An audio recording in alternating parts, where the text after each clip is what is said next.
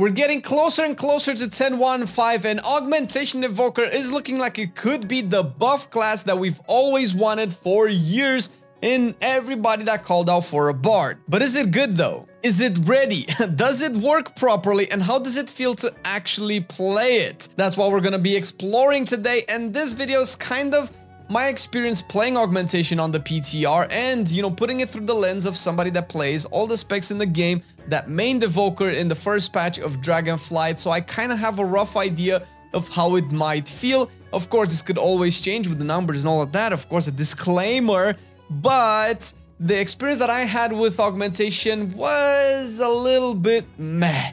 Now, let's talk about why was it meh and what could potentially be made to make it better. First off, we're gonna start with a little bit of a breakdown of how the spec works. Although we covered this in a previous video, we didn't go super in depth and I don't want to bore you with all the nitpicky stuff, but give you a general idea if you haven't seen the augmentation spec yet in action or have read anything about it. Augmentation Evoker is basically the third spec of your Evoker and it does a couple of things. Its main role is to buff the party slash raid, but mostly the party since most buffs cover a very restricted number of people.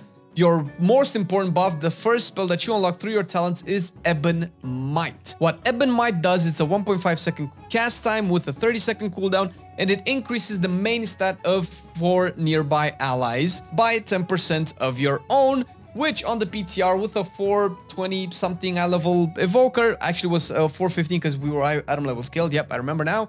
It was about 1400 main stat. 1400 main stat is quite a bit.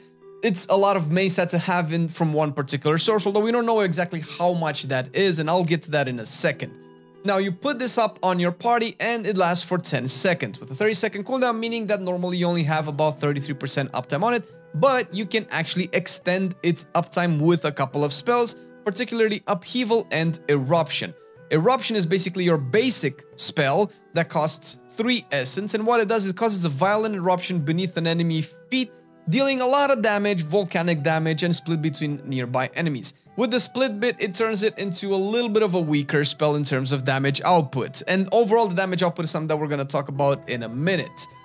And this is fine, but this is the only essence consumer and you are a DPS spec. And we go back to Devastation that has Pyre and Disintegrate. The devs have made a pretty good way of making Eruption viable in both single target and AoE because it does more damage if there's one target and obviously it splits if it's an AoE, but it is only one consumer and it does have a cast. Again, we'll get to that in a second. And with Upheaval is basically something that you unlock later down into the talent tree on the left, which is your charged ability, your empowered ability and this does a lot of damage and extends Ebon Might by 2 seconds no matter how many charges you get, which is something that we'll probably talk about in a second. And charging it more just increases the radius because this knocks stuff up. This is pretty cool, you have access to a fundamental knock-up effect as your default rotation on a 40 second cooldown. It is 40 second cooldown. Now the second way, major way to buff your allies is with Prescience. Prescience is a talent really down low at the right part of the talent tree with a 12 second cooldown. You pop this and an ally gets 3% increased critical strike chance for 20 seconds. Now, if you don't have an ally selected, this will go on a random person, meaning that you probably would like to figure out exactly who you press. This would probably be the equivalent of power infusion. You might want to put this up on the ally that would benefit the most. It is only 3% crit, but it does add up and if you don't select an ally, it just goes on one of your nearest uh, damage dealers. This can furthermore be augmented by the Capstone Fate Mirror, which is something that I did play with and something that has been theory crafted to be probably set in stone for your starter build. Fate Mirror makes Prescience grant an ally a chance for their spells and abilities to echo their damage or healing, dealing 15% of the amount gained. So this is kind of like an extra extra shot of that same amount of damage. Remember multi-strike, it kind of feels something like that, which is okay. It feels a little bit underwhelming as a capstone, but hey, sure. The third way to buff allies is through Blistering Scales, which is specifically aimed at tanks. Blistering Scales is a 30 second cooldown cast spell that lasts for 1 minute and this puts a buff on your target, ideally the tank, to give them 30% armor and it has 15 explosive dragon scale charges. Once the tank is hit, those charges explode and they deal AoE damage. The charges are basically triggered by melee attacks, so realistically you'll only want this on your tank, and you can only have this up on one target at a time. This normally is supposed to target tanks, but sometimes it's casted on you, so make sure, unless they fix this, make sure that you have your tank selected before you pop this. And from what we can tell so far, this is associated as damage dealt by your tank, meaning that it will contribute to that tank's threat generation, which is ideal because you don't want to bring up threat from you but then the game definitely considers this as something that the tank does and your add-ons will reflect that as well meaning that you won't see this on your damage meter which is not particularly important anywhere shape or form until we talk about it in a second. Really close to blistering scales you have timelessness which makes you enchant an ally to appear out of sync with the normal flow of time. Pretty cool. but it reduces their threat generation by 30% for 30 minutes. It's like the old buffs that last for a long time. You just put it on a target that just deals a lot of threat. This is very niche, very, very utility focused, very cool. I imagine as a tank myself, there are there's always that ret paladin or havoc demon hunter or arms warrior that just blasts at the beginning of a pack in dungeons and pulls aggro off of me. Obviously putting that on that person will essentially generate a lot less threat and that's not gonna be an issue. Very niche, very specific, not useful all the time. And the next one is Bestow Weyrnstone, a one minute cooldown, kind of like a Healthstone item that you conjure and you give one to your party ally, whoever, and when one of you guys uses the Weyrnstone, you teleport to the other person, uh, they are. This is really cool. This is a unique utility option, again, that works really well. I can imagine this being amazing in raids, where you have to move from one platform to the other, that person is too far away, or the platform is too far away, and you can just teleport to that person and kind of game the mechanics of the fight, which is actually a really cool thing. And there are a lot of other passives through the talents that will make you feel impactful for your team. And that's essentially how the buffing works. Main buffs that you will use to give other people damage is Ebon Might and Prescience, and that's pretty much it. The part of you dealing damage is essentially kind of basic. You cast Living Flames in single target or Azure Strike in AoE, they can proc Essence Burst, and you have Fire Breath still as all Evoker specs, and you have Eruption and Upheaval that we talked about when it comes to buffing and Deep Breath unless you take Breath of the Eons, which is a talent and replaces Deep Breath with a 2 minute cooldown. And this is kind of how the spec will work right now unless more testing and more theory crafting, more talents are going to be added because we know that even Devastation have had some really nice changes and Preservation have had really nice changes throughout the course of Dragonflight. I don't know when these changes will happen for augmentation because they do have to happen and here's why.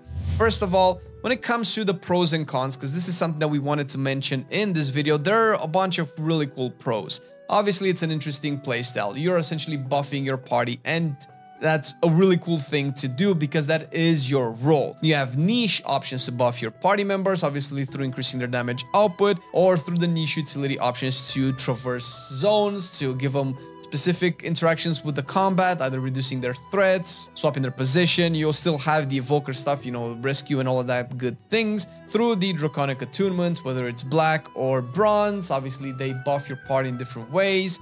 That is really cool. Not to mention that the animations for this are amazing. Upheaval is probably the coolest looking spell that we have today seeing the earth pile underneath the target and just blast all the targets in the air is very, very fun. Other than that, it feels like a much, much simpler, much weaker, less fast uh, devastation spec, which doesn't really say much for Evoker as a class, something that was supposed to sell the expansion, something that was supposed to be the poster child of the expansion. And this is where I start to personally have some problems with it. Again, this could be my opinion, but this is what I figured out after playing a couple of hours on the PTR doing the mega dungeon as well and figure out exactly what things are. First of all, the role of buffing your party outside of Ebon Might and Prescience is almost non-existing. It seems useless and becomes very monotone in terms of the play style. You buff your party and you just keep up Ebon Might trying to extend it as much as possible, which is just keeping up a buff on the targets. You're not going to be able to have 100% uptime. And when the buff runs out, you hit a really awkward moment where you feel turbo useless because your damage is low. It's very low. Obviously, numbers can change, but so far they haven't changed over the course of a month of beta. I don't know if they're looking to improve this or not. I don't know if it's necessary for you to have more damage. And this is another problem as well. How much are you actually contributing to the party? There's no real way to tell.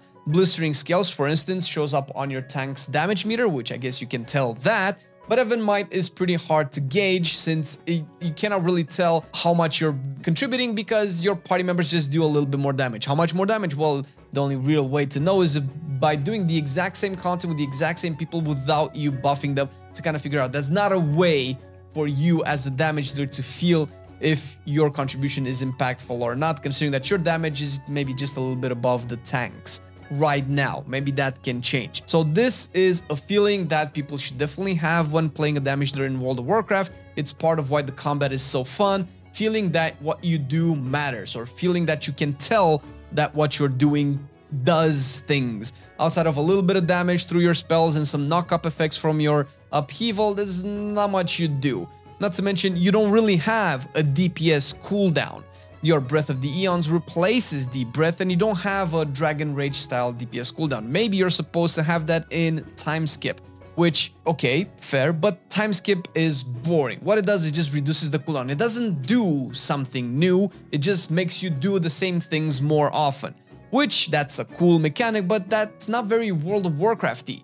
I'm playing a Destruction Warlock on live. I pop an Infernal, slams into the ground, it deals damage, generates shards. I see my Infernal wreak havoc on the screen. I don't really know what time skip does. It feels like I'm getting cooldowns faster and that's great. Not to mention that if you do play the build that so far seems to be theory crafted as being the best build performing as of now, you will replace time skip with the capstone underneath it, interwoven threads, which makes it a passive cooldown reduction on your spells, so it's no longer even a button that you press. And that feels a little bit boring, I'm not gonna lie. This is supposed to be the spec that's going to bring a lot of love to evokers, and it doesn't feel as awesome as it probably is as a concept. It feels like the concept is a lot more awesome than the actual execution of the spec. On the topic of buffing targets, Eruption is very clunky as the only essence consumer with a cast time, which is very important to maintain Ebon Might because you do have to maintain Ebon Might and you get Essence Burst sometimes and sometimes it feels like you're not consuming them enough because it's not instant cast. I'm thinking that maybe Essence Burst can make this instant cast since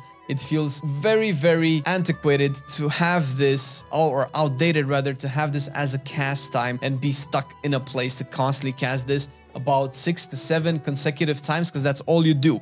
Once you pop Ebon Might, you want to fit in as many of these casts as possible because you cannot maintain 100% uptime on Ebon Might and you want to maintain ideally as close to 100% as possible, you'll end up casting these back to back to back to back to back to back to back to back to back to back, which becomes very boring very quick. You will essentially put in an upheaval every now and again, and this also signifies the issue with these because this is an empowered spell that extends the duration of Ebon Might, but the more you channel it, the more you lose that time of extending Ebon Might because you spend more time casting this for no additional extension on the buff. I hope that they actually introduce a way where depending on how many charges this has, it extends it by a little bit more so you don't feel like you're wasting Ebon Might uptime by trying to have a bigger upheaval to knock back or hit more and more enemies. I don't feel like that's a significant trade-off considering that your damage is still gonna be very poor and the only real way that you're feeling like you're contributing is by keeping Ebon Might up as much as possible. So I feel like there should be more interactions with Ebon Might and hopefully keeping it up 100% uptime or as close to it because once it's gone, you just feel very awkward. Once again, your damage is just very poop. There's not much you do otherwise to buff targets. Prescience is very passive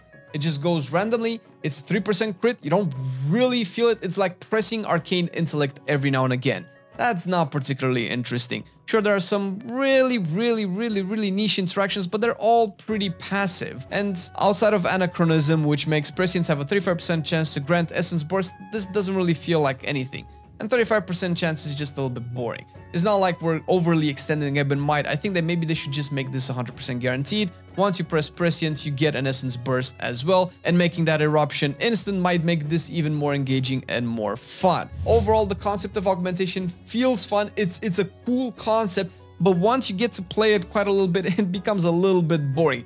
There are no exciting moments in your rotation because you don't really have an awesome cooldown. Sure, Breath of Eons is cool, but you lose Deep Breath for it. Maybe let us keep both Deep Breath and Breath of Eons and maybe that would be a little bit cool. You fly around a little bit more, you breathe a little bit more. That's a fun thing to do as an evoker and I feel like that would go a long way into making this better. And since complaining for the sake of complaining is not particularly productive, I think that Essence Burst should make Eruption instant cast, and I feel that if you do end up overcasting or empowering Upheaval more, it should, for I don't know, for each extra charge, extend Ebon Might by one extra second, I think. And last thing, maybe make all of these really, really actually cool interactions with the Warren Weyrnstone, with the threat reduction, with the giving healers extra range and able to cast while moving through Spatial Paradox, which I don't know if I mentioned yet. Spatial Paradox is also an ability that you can get which is a combination of Spirit Walker's Grace and give more range to a close healer or to one of your healers, because this only affects essentially one other healer. This is cool, but it's also super, super, super, super, super niche.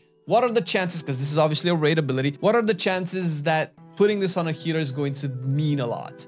And how often are you going to use this? Are you going to use this every two minutes? Maybe casting while moving is going to be efficient, but then you're more and more delegated to this. Okay, Evoker X handles that Priest X because this is, was kind of my experience in the raid, which is not a bad experience, but I had to babysit. This is essentially a babysit class. You're in charge of rescuing somebody, of popping movement, of spatial paradoxing that person, prescience that other person, boosting skills the tank, which I guess it's cool, but these don't really do much for your contribution to the party to make you feel like it matters because they're slightly underwhelming and they don't contribute to your damage that much and you are a damage dealer at the end. If this was a healer, that would be fine, right? You're delegating yourself to full support. But outside of buffing people, your performance is low. And once you're outside of a group, these buffs don't really matter that much because 10% more max stat doesn't contribute to the fact that you're doing almost half of the damage of everybody else. That's not gonna, that's not gonna help.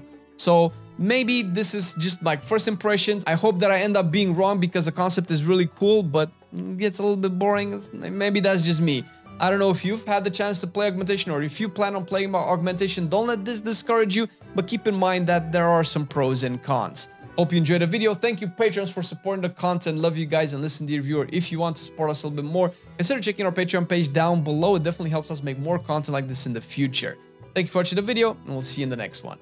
Bye-bye. I've been loving it then, I still love it now. Still, I play WoW. Still, I play WoW. Getting better every day, let me show you how. Cause still, I play WoW. Still, I play WoW. It's getting harder to stay, but at the end of the day, it's a guilty pleasure, so just log in and play. Whether it's classical retail, I'ma do a slash bow. Still, I play WoW.